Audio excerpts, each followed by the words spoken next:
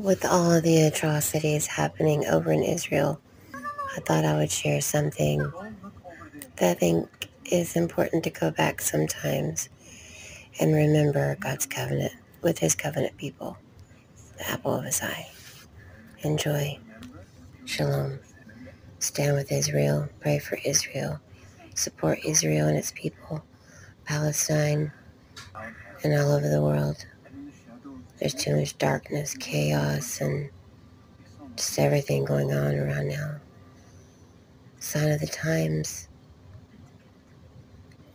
But the only way that Christians have our word of God is because through the Jewish people